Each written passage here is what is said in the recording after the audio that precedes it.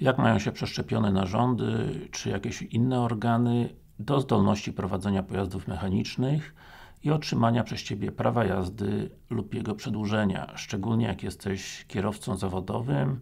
No kiedyś tego problemu nie było, bo mało kto dożywał, że tak powiem, natomiast w tej chwili medycyna uczyniła jakiś postęp no i te osoby z przeszczepionymi narządami też chcą funkcjonować jak ludzie. Witam Panie Dariuszu, mam takie pytanie, ponieważ mam cukrzycę typu pierwszego, prawko zawodowe mam przedłużone na rok, ale zastanawiam się, bo czasami ten typ y, cukrzycy jest skierowany do przeszczepu trzustki, czy też wysp trzustkowych. Niby potem jest zapewniona normoglikemia, jak u zdrowej osoby, czyli praktycznie jest to y, wyleczenie y, z cukrzycy. No, ale właśnie bierze się wtedy leki immunosupresyjne i ciekawy jestem, jak to jest wtedy z prawem jazdy, czy osoba po takim przeszczepie, przyjmująca immunosupresję, może dalej jeździć zawodowo. Z tego co wiem, nie podlega już wtedy diabetologowi, lecz transplantologowi.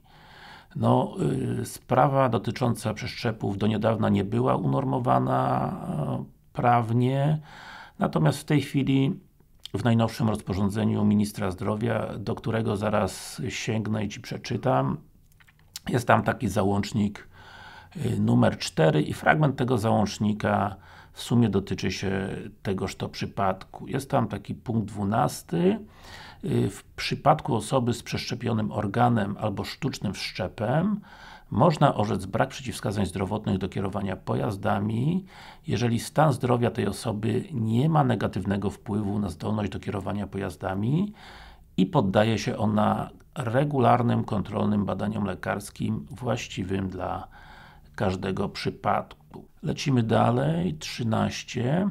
Oceniając stan zdrowia w przypadku kierowców zawodowych, uwzględnia się dodatkowe ryzyka, które mogą stanowić zagrożenie w sytuacji kierowania pojazdami. Oczywiście to dotyczy egzaminatorów, instruktorów nauki jazdy itd. itd. 14. Ważna sprawa, w przypadku regularnego stosowania produktu leczniczego, który osoby badanej obniża zdolność do bezpiecznego kierowania pojazdami, stwierdza się istnienie przeciwwskazań zdrowotnych do kierowania y, pojazdami, czyli lekarz musi tutaj przeanalizować Twoje leczenie, czy tam jakiś lek Ci tego y, zdolności do kierowania pojazdami nie obniża. Czyli tak, biorąc to cuzamen do kupy, lekarz uprawniony, taki jak ja, powinien indywidualnie przeanalizować każdy taki przypadek, wziąć wszystkie za i przeciw i podjąć jakąś y, decyzję. Generalnie paragraf jest bardzo uznaniowy, nie trudno to zauważyć. Odsyła się bardziej, odwołuje się bardziej do wiedzy lekarza, do jego doświadczenia, także dwa identyczne przypadki przez dwóch lekarzy mogą być zupełnie inaczej, diametralnie różnie ocenione. Gdybym ja odrzekał na przykład w takim przypadku, na pewno poprosiłbym o opinię, pisemną opinię lekarza prowadzącego, zarówno tutaj tego diabetologa, jak i transplantologa.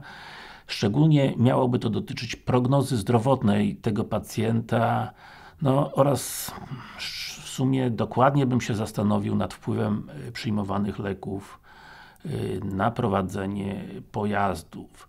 I prawko nawet na kategorię B, czy jakieś inne dałbym terminowe, bo w sumie jasno wynika to z tego rozporządzenia, z tego załącznika, że wymagają tam kontrolnych wizyt lekarskich, a jak sprawdzić taką kontrolną wizytę lekarską? No po prostu trzeba od czasu do czasu się z tym pacjentem zobaczyć. I reasumując to wszystko, każdy przypadek, i przypuszczam, że Twój jest unikalny, na pewno wymaga więcej wysiłku myślowego od lekarza niż zwykle, trochę więcej wysiłku od pacjenta, y, ponieważ no, musi przynieść dokumentację, aczkolwiek y, po tym co pacjent przeszedł, przypuszczam, że mówię przeszedł w sensie przeszczepu, szukania dawcy itd., tak itd., tak nie będzie aż to taki duży wysiłek w stosunku do tego, co było wcześniej. Jaki widzę problem? No może być problem takiej empatii wobec pacjenta, ponieważ prawko jest mu na pewno potrzebne, a z drugiej strony no, spraw zdrowotnych, czyli lekarz musi to jakoś wybalansować. Nie to, że pacjent potrzebuje prawka i już automatycznie dostaje, tylko niestety troszeczkę trzeba pomyśleć, aczkolwiek mówię, mimo wszystko troszeczkę jakoś temu pacjentowi pójść na rękę. Także jeszcze raz na tym kończę. Mówił Darek Kraśnicki z Wrocławia, lekarz specjalista medycyny transportu. Jeżeli Ty jesteś po jakimś przeszczepie organu, po innym przeszczepie, coś po czymś, co podchodzi pod ten przypadek, podchodzi pod te wideo, koniecznie to skomentuj. Jak poradziłeś sobie z pewnymi sprawami, czy uzyskałeś prawo jazdy, czy mimo wszystko to prawo jazdy Ci zabrali. Mówię, immunosupresja pozwala przedłużyć życie, ale objawy uboczne są y, dość poważne, prawda? Generalnie jakoś ten przeszczep musi organizm zaakceptować, normalnie jest odrzucony, natomiast tutaj lekami osłabiamy odporność pacjenta, prawda? I jakieś konsekwencje tegoż to leczenia są. Także jeszcze raz na tym kończę. Koniecznie zasubskrybuj mój kanał, jeżeli Cię takie problemy interesują.